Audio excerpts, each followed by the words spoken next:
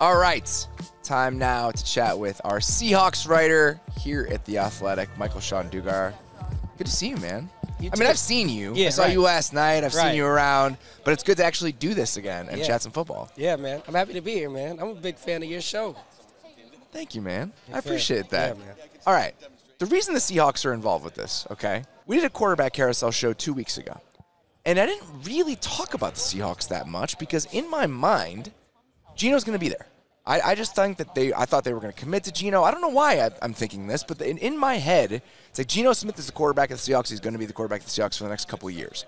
How sure are we that Geno is like a multi-year commitment for this team, or is quarterback on the table at five to you? It's 100% on the table, and this is this is where the philosophy and the background of the general manager is important. John Schneider, you know, he was uh, a mentee of Ron Wolf in Green Bay, and he was a mentee of Ted Thompson.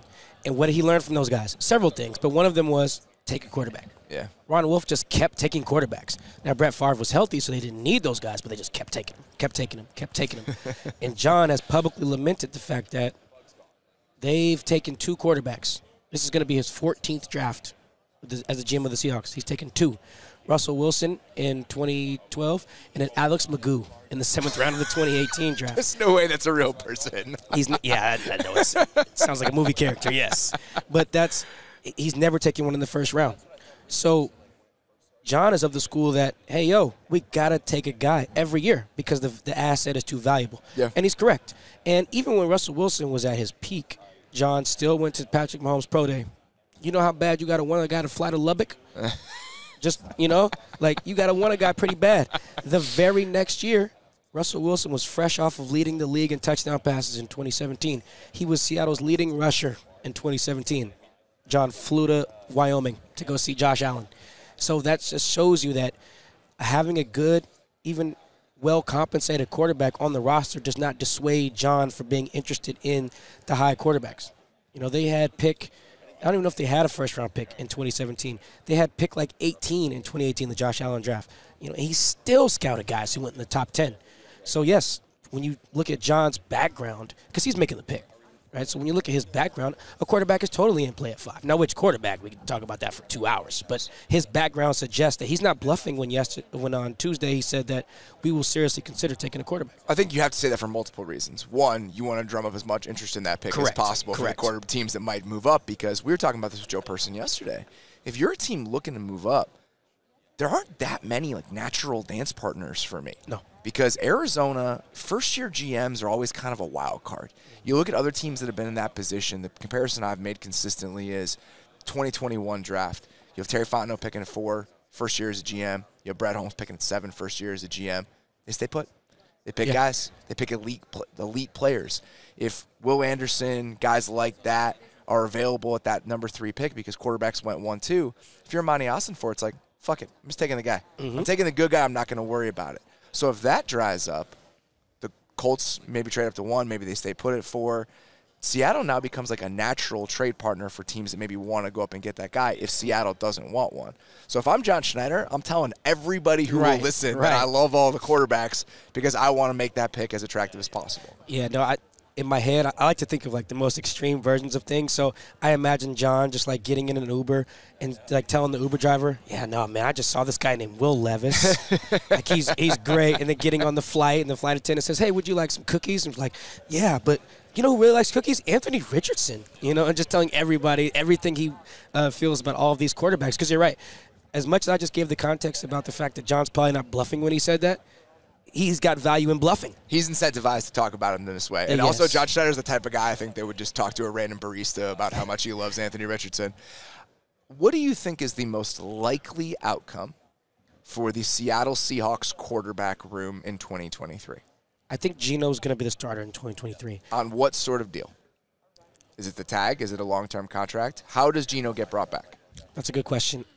I would guess that it's a three-year deal that's really a two. Yeah, makes sense. And the way Seattle structures its contracts, usually they give you a signing bonus and they guarantee the base salary in year one, and the the the base salary in year two like vests later.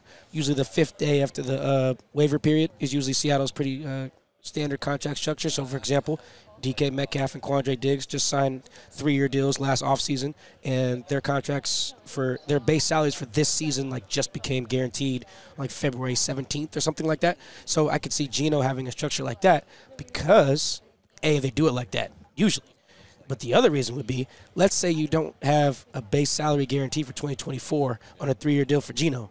You can still take a guy in 2023 at five say you believe in Geno, but if he goes a Derek Carr path, you have the same thing as the Raiders. The Raiders had an out. It's a very similar situation to what the Raiders just did with Derek Carr. So I think Geno will be back on a multi-year deal because that gives them the most flexibility, not only to still take a quarterback, but then fix the roster. I mean, we all saw that playoff game in San Francisco. John said it the other day. He said, our guys know what it looks like.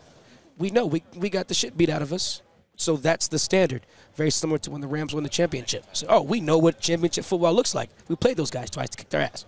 You know, so I think Geno on a long-term deal gives them the flexibility not only to build the team, but they can still get out of it. You know, if if you know the clock strikes 12 on them, you know Cinderella, you know, is not the the fine joint at the ball no more, and then in 2024 they they can move on if they need to. That feels like the best solution for me. And we had this conversation with Colton Pouncy earlier in the week about where the Lions are at all the same shit applies to the Seahawks. Yes, yeah. You have a team that made the playoffs last year. The Lions even make the playoffs last year. Right. The Seahawks did. If you commit to Geno on that sort of deal that gives you flexibilities and off ramps mm-hmm. over the next two years, but you pick a quarterback at five, you can very easily play Geno this year, see how it plays out, let that guy sit, you be competitive, and then you hand the keys over to whoever you draft at five in 2024 when the team is kind of ready to do that. All of that applies. And I mm-hmm. think that this is, and I think maybe Pete said it yesterday. It's a rare opportunity that they have. Yes, like that very, said, yes. and that's the word I kept using way too many times on the show we did with Colton. It's a rare chance to trade your way into the top five with this sort of roster, with these sort of pieces, where you can have your cake and eat it too. Yep. You can be competitive, but you can also build for the future.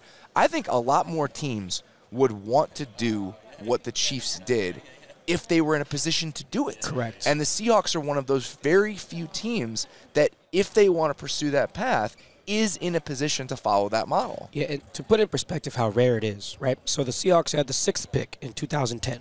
They took Russell Okung. That was off of the Jim Mora 2009 Seahawks going, I believe, 5 and 11. So that wasn't even a Pete Carroll. They had a native top 10 pick, but it wasn't Pete's fault, right? The only other time they've had a native top 10 pick was last draft.